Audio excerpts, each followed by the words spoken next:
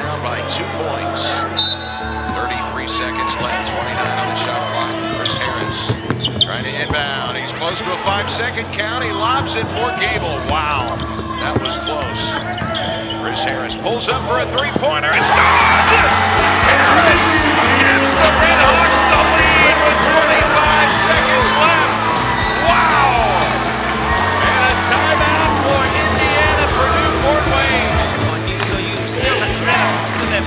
Seconds go even if they make a basket.